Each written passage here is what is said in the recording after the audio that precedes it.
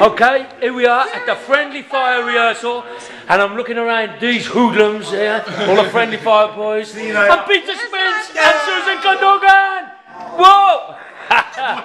look at her, look at that. Do you realise that UB40 were your number one fans in 1972? The what? We were your, non, your number one fans in 1972.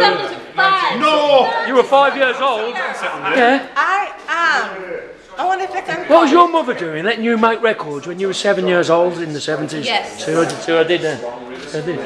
My mother was a soprano, mezzo soprano. Oh, Sound wow. like. Oh, man.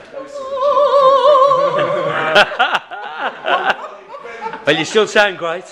I can't wait to do a gig with you. Yeah, because I'm looking at Susan. Yeah, it's a video. It's a oh, video in Susan. I'll come up and look at all those boys there behind looking. no, it's not. Yes, it is. Go, I'll send it to you. I'll send you the film. Well, I know. Did, yes, I've got a little picture. I'll send you the film.